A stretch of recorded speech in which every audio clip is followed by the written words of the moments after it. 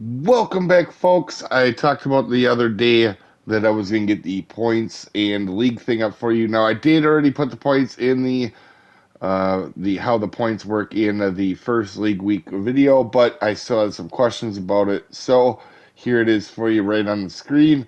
And uh, this is our Fishing Planet League Week 12 schedule on the left hand side. Uh, they're not going to be just like total weight. Every week might be a different thing too, so it might be fun. It might be, for example, at this week at Walleye, we're doing biggest weight match, 2.715 pounds. So it'll be interesting. You're still going to want to catch a lot of walleye, obviously, but we're going to try to make these fun as we do the leveling stuff. Anyway, you guys have an amazing day, and I will talk to you next time, folks.